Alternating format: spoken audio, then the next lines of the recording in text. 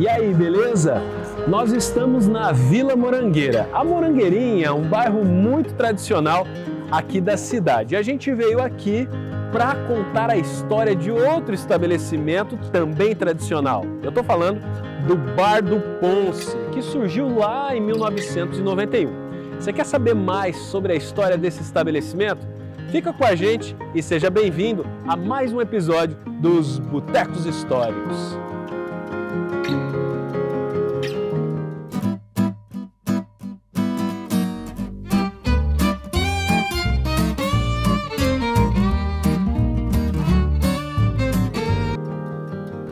Do Ponce ele foi fundado pelo casal Rosana e Lourival Ponce. E a gente vai entrar agora para conversar um pouquinho com a família Ponce e conhecer mais sobre essa história. Vem comigo!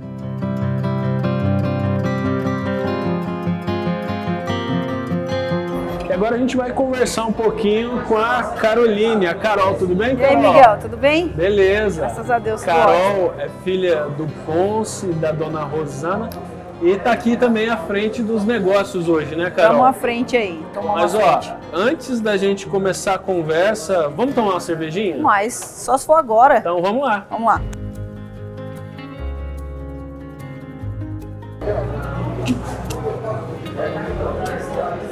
Aqui, ó.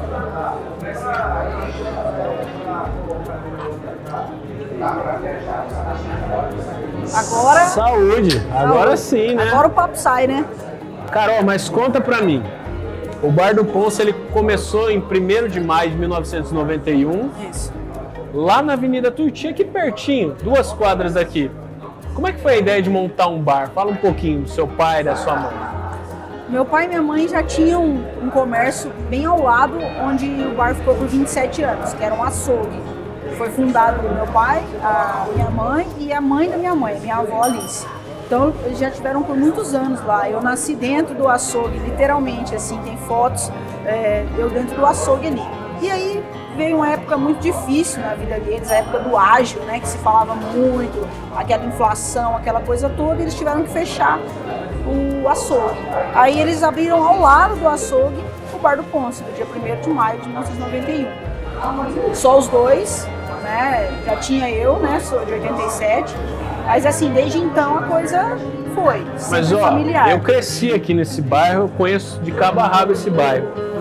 E eu me lembro muito do, do fluxo de pessoas ali, era, sempre foi muito intenso, Muita como gente. tá agora, sim. E muita coisa me chamava a atenção. Campeonato de sinuca, de truco, os assados aos domingos. O que, mais marcou a sua memória ali que você lembra? Ah, tinha muito, tiveram muitos campeonatos, a maioria deles patrocinados na época política, né? Uhum. É, a gente tinha duas mesas de sinuca, chegamos a ter quatro mesas de sinucas dentro do bar, lá.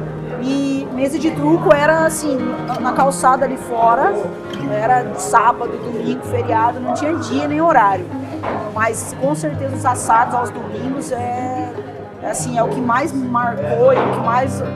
Até os próprios clientes têm assim de recordação. Porque era espetacular, era espetacular. E hoje, além de muitas coisas que vocês estão fazendo, dois itens chamam muita atenção: o chouriço, salame, que vocês também estão fazendo agora É. Mais recentemente, recente, é. mas o cudiguim, que é uma referência. Como é que são feitas essas receitas? De onde vieram e tal? São tudo. Mas antes de você contar, pega Como um é, deles lá bacon? pra gente experimentar.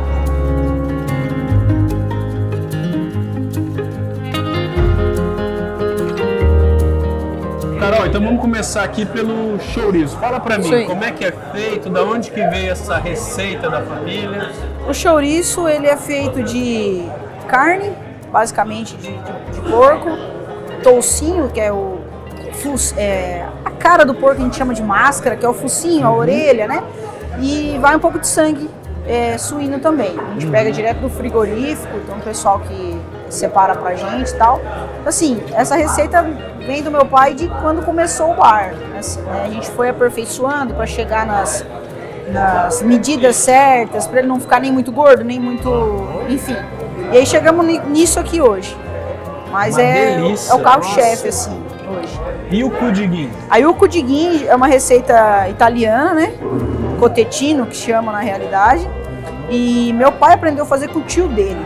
fazia no sítio, que é a mesma coisa do chouriço, que é o focinho do porco, né, a pele moída, é cozida e moída, e carne junto para dar liga. E o nosso tempero é água, sal e alho. Mais nada. Nenhum conservante. Água, sal, alho e pimenta. Nenhum conservante. A água que vai é para bater o tempero e colocar na massa de cozinhar. Então E é totalmente. quantos quilos vocês vendem por mês? De chouriço aí, a gente faz por semana, média de 100 quilos, 110 quilos por semana. Dá uns 400 quilos por mês, assim. De chouriço. chouriço, que é o consumo maior aqui no bar, o pessoal vem para consumir mesmo, leva já quentinho cozido para comer em casa. O cudiguinho, a linguiça, o cudiguinho varia entre 50 e 60 quilos por semana, e a linguiça ali uns 20, 30 quilos por semana que a gente faz. Tudo para o consumo do bar, tudo para venda aqui no bar. O pessoal vem, come aqui, toma cervejinha e come as porções aqui. Mas diz uma coisa, do seu pai, o Ponce, qual foi o grande ensinamento que ele deixou para você? Cara, honestidade. A honestidade, ela vem acima de tudo. O caráter, que é o que a gente é, honestidade. E trabalho. A gente começou o bar no dia 1 de maio, dia do trabalho. Então você imagina se a gente trabalha pouco, né? Então é que vocês sempre trabalharam de domingo a domingo, domingo a aqui, que domingo, cara. de parar Quando a gente veio pra domingo. cá, fazem quatro anos e oito meses, que nós foram 14 anos construindo aqui, né?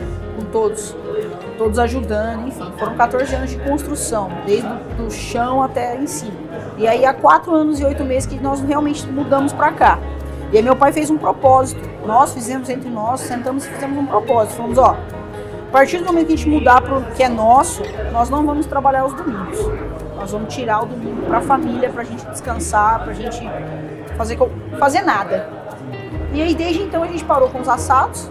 Meu pai já vinha debilitado devido ao Parkinson que ele tinha, né? que Já cometia ele fazia muitos anos. Então, ele já não tinha mais tantas condições também de ficar mexendo em assadeira, aquela coisa. Então, fizemos esse propósito e paramos de trabalhar os domingos. Tá? E hoje a gente realmente curte o domingo, assim.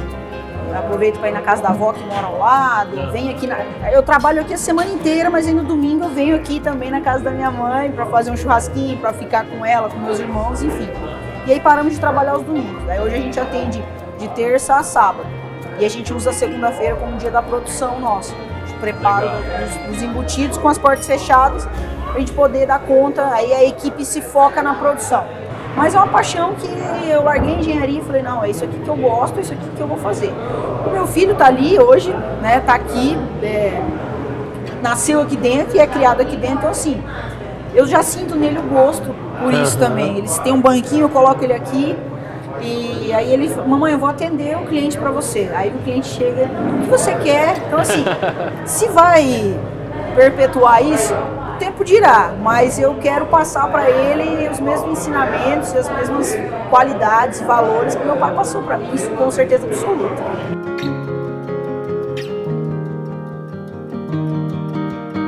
Agora a gente está aqui com a dona Rosana Ponce, que é a matriarca, que É. administra o negócio todo. Dona Rosana, obrigado por atender a gente Obrigada aqui para falar um pouquinho sobre a história desse bar emblemático aqui, não só da Vila Morangueira, mas de toda a cidade de Maringá. É, Mas antes-. É, antes da gente começar a conversa, corta um pedacinho aí Começa- desse torresmo Torresminho aí. aqui, Nossa, né? tá bonito, hein? Olha só. Esse é, esse é A Carol que faz? Carol que prepara. Nossa. Daí eu frito, né? Quanto tempo fica fritando? Ah, de fritura assim uns eu ver. 10 minutinhos. Ah, ele acompanha a geleinha, ó. Meu Deus. Geleinha de abacaxi, que eu preparo, eu preparo a geleia. Senhora que faz geleia também? Sim, eu preparo a geleia. Preparo. Esse Bom é o- demais. Esse é o carro forte também. O pessoal gosta bastante. Bem. Hum, A gente tinha um açougue do lado do bar na antiga Tuiuti. Tocava meu pai e minha mãe, eu era criança. Meu pai veio a falecer, aí a minha mãe assumiu. Eu aí cresci, estudei no Branca, me formei e tudo. E eu já conheci o Ponce, que ele trabalhava no Mendes, Zé Mendes. Inclusive com a cargueira, né? Entregando na cargueira. Vila Morangueira É, inteira. fazia entrega com a, com a cargueira Guaiapó fora. Aí depois a gente, aí a gente começou a namorar, em 83 mais ou menos. Aí ele saiu do Mendes e passou, minha mãe arrendou açougue para ele. Aí a gente trabalhava no açougue. Trabalhamos praticamente 10 anos no açougue. Uhum. Aí casamos ali, né, com o açougue e tudo. Tivemos a Carol, nasceu no açougue. Depois, daí que a gente passou no bar. Daí o seu Zé, na época, ofereceu pro Ponce o bar, né, se ele não queria tocar o bar. Uhum. E aí a gente, do açougue, a gente passou pro bar. Na época, do, a gente teve o açougue. Depois veio a época do ágil. Aham. O ágil foi assim, você comprava uma mercadoria hoje, amanhã você não comprava com aquele mesmo dinheiro, já tinha subido. Aí nós fechamos o açougue e fomos plantar vassoura. Na antiga Porta do Céu, que era ali, né? Aquele terreno da Porta do Céu que saía lá na Guaiapó. Aí o seu Pedro cedeu o terreno pra gente. Meu sogro já mexia com vassoura. E daí ele foi plantar vassoura pra gente poder sobreviver, né? Naquela época. Aí a gente, ele plantava vassoura ali e de domingo a gente fazia assado na Avenida dos Palmares. Numa mercearia. No Liberdade. No Liberdade, na mercearia do Danilo. Inclusive- E hoje ele tem o bar ali, ainda, ainda tem o bar na esquina ali. E inclusive os assados acabaram virando uma referência do bar do Ponce, né? Já sabe sim. Você foi natural começar a vender assado ali também, porque vocês já conheciam de carne, já trabalhavam com assados em outro bar. No açougue mesmo a gente já fazia o assado. Qual que é a sua lembrança assim mais presente do Lourival Ponce? Ixi, são muitas, hein? que mais que marca assim? Ah, os assados de domingo, hein? É, né? Os assados de domingo era. Ele fazia aquilo ali com amor, sabe? Eu me lembro. Com amor. Não tem outra palavra, é o amor. Igual eu atendo aqui meu balcão, eu adoro meu serviço. Eu faço tudo que eu faço aqui, isso aqui, isso aqui. Tudo eu como, meus filhos comem, eu faço com amor, que é os meus clientes comer e gostar. Então, a- a- o que me marca muito assim é a época que a gente mexia com assado de domingo. Muito tempo. 26 anos e 7 meses.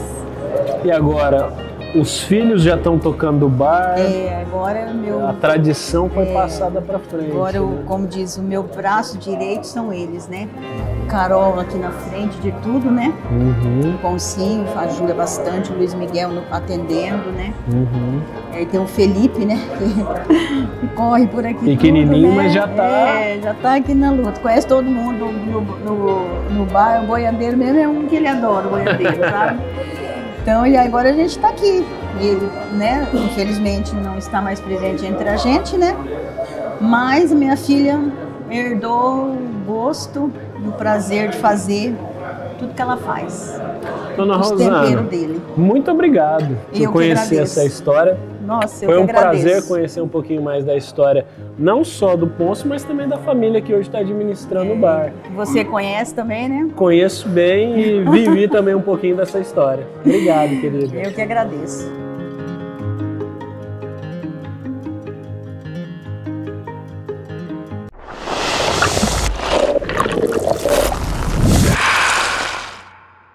A gente está agora aqui com um antigo cliente do Bar do Ponce, que é o Boiadeiro. Seu Boiadeiro, prazer. Prazer é meu. Eu conheci o Ponço sempre na lida, né? Trabalhando.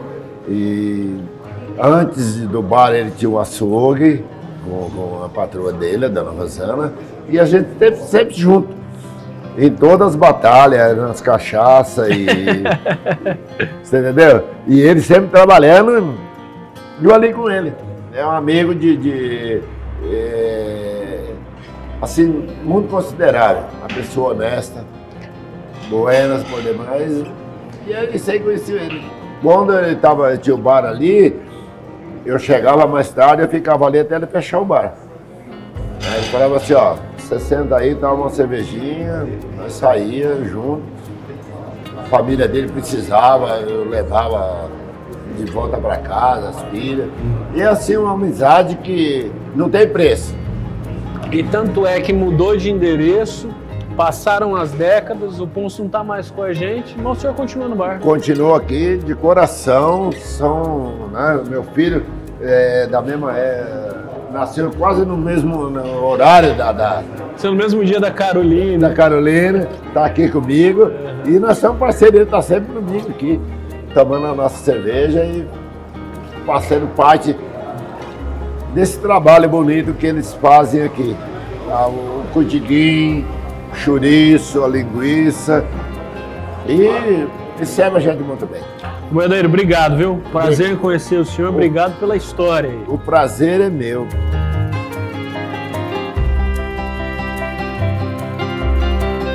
Bom, agora a gente está com outro cliente antigo do Bar do Poço. Italiano, obrigado, viu? O que mais te marcou, assim, como característica, personalidade do Ponce que você lembra dele? Ah, tem várias, né? Ah, uma delas era. Ele, ele, ele era o amigo tipo perfeito. Ele nunca ia te deixar você na mão por nada, né? Não tinha hora, não tinha lugar, não tinha horário. Você falava, pô, você está precisando de você aqui. Tava ele sempre à tava, disposição. tava sempre à disposição. Cara bom, né? É, um cara que eu posso falar realmente, você era meu amigo de verdade, né? E agora a gente tem que dizer, na Vila Morangueira e também na cidade de Maringá, é um dos bares mais lembrados e reconhecidos. Não, com certeza, né? A- a- Ma- Maringá, até a própria região aí, aquele chouriço dele, a linguiça dele é famosa, né? Entre tantas coisas que ele tem, isso aí chamava atenção. Até naquela época lá, ele eh, não era aqui, né? Era ali na, na Tuiuti ali, tinha uma assadeira lá, um frango especial, a costela não tinha para ninguém não. Estava sempre ali. Legal. Italiano, obrigado, viu? Opa, Prazer agradeço, por Miguel. compartilhar essas Beleza. memórias com a gente, tá Tamo bom? aí. Valeu. Tá bom. E aí, espero que você tenha gostado dessa história que resgatou um pouquinho do Bar do Ponce, um estabelecimento que é referência não só na Vila Morangueira, Morangueirinha, mas em toda a cidade de Maringá e na região. E se você curtiu mesmo, aproveita para se inscrever no nosso canal, comentar, compartilhar esse vídeo. Na próxima semana você vai ver mais um episódio do Botecos Históricos. A história em tudo que vemos. Um abraço e até a próxima.